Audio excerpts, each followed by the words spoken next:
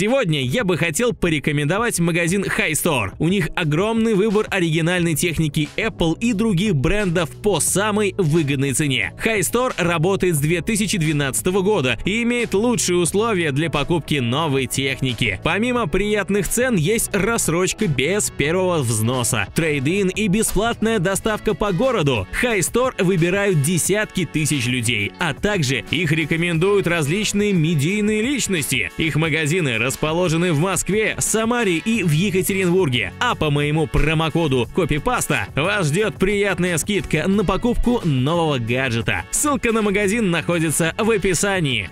Выход автомобиля Apple Car отменен. Появился список смартфонов, которые получат обновление до iOS 18. Новенькие AirPods на подходе. А также в сети стали известные цвета, в которых будут доступны смартфоны iPhone 16 Pro. Это подборка новостей из мира Apple. Сейчас все подробно обсудим. Но перед началом рекомендую подписаться на наш канал и нажать на колокольчик, чтобы не пропустить выход свежих видео. Всем привет, вы на канале Копипаста. У микрофона Антон. Поехали! Поехали!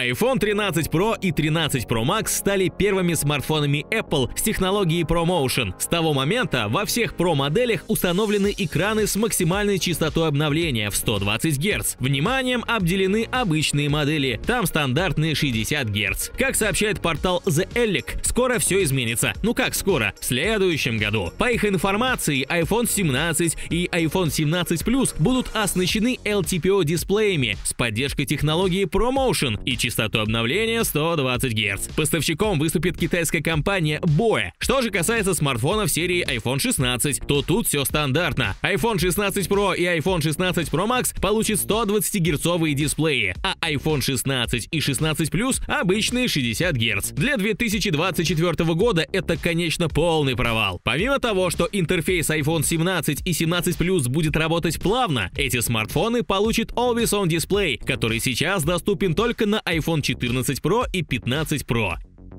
Инсайдер Маджин Бу в социальной сети Twitter поделился информацией о цветах смартфонов iPhone 16 Pro и 16 Pro Max. Он называет эти цвета Desert Yellow и Cement Gray. Первый похож на золотой цвет iPhone 14 Pro, а вот второй больше похож на цвет, который Apple использовали в iPhone 6. Оба цвета выглядят прикольно, особенно серый, прям очень красивый. Имейте в виду, что информация неточная, и сам инсайдер пишет, что это всего лишь слухи.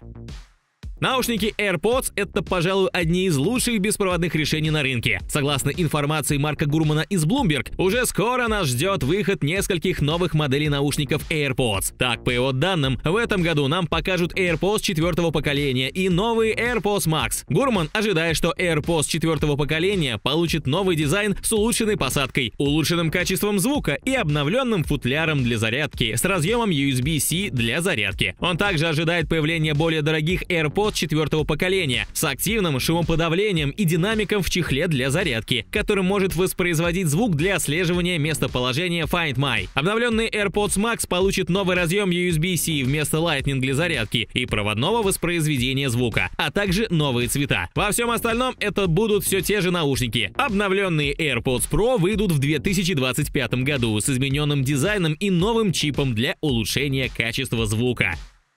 Как сообщает Bloomberg, в компании Apple приняли решение полностью отменить выпуск своего собственного автомобиля, работа над которым велась последние 10 лет. Многие из сотрудников, которые работали над этим проектом, будут переведены в подразделение ИИ. Они сосредоточатся на проектах, связанных с генеративным искусственным интеллектом. Apple начала работы над своим первым автомобилем примерно в 2014 году. Компания поставила амбициозную цель – выпустить просторный, полностью автономный электромобиль автомобиль с голосовым управлением. Но почти с самого начала появились серьезные затруднения, а сама Apple несколько раз меняла руководство и стратегию команды.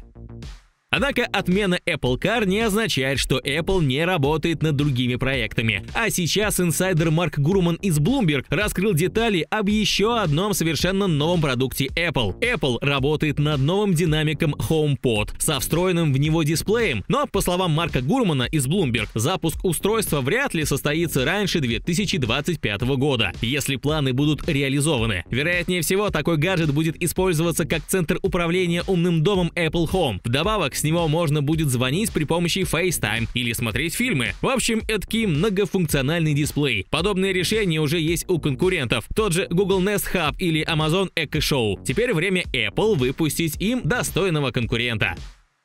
Портал MacRumors опубликовал список смартфонов, на которые можно будет поставить iOS 18. По их данным, все те смартфоны, которые получили iOS 17, получат и iOS 18. Это отличная новость, ведь пользователям iPhone 10s и 10R еще год можно не думать об обновлении смартфонов. Полный список гаджетов, которые получат iOS 18, сейчас перед вами на экране. Представят iOS 18 уже буквально через 3 месяца. Летом на мероприятии мероприятии WWDC 2024. Сначала она будет в статусе бета для разработчиков, а уже осенью, вместе с выходом смартфонов серии iPhone 16, станет доступна всем желающим. Что мы с вами ждем в новой iOS 18? По словам Марка Гурмана из Bloomberg, нас с вами наконец-то ждет редизайн. Система будет использовать некоторые решения, которые используются в гарнитуре смешанной реальности Vision Pro. Вдобавок, большой упор компания делает на внедрение решений, связанных связанных с ИИ. На ежегодном собрании акционеров Тим Кук заявил, что компания готовится открыть новые горизонты в области генеративного искусственного интеллекта. Компании придется хорошо потрудиться, чтобы конкурировать с Google Gemini или ChatGPT. Однако ранее были слухи, что Apple реализует все локально. Вся генерация будет происходить прямо у вас в смартфоне. И если это так, то это настоящий прорыв в мире искусственного интеллекта. Наблюдаем и надеемся, что у Apple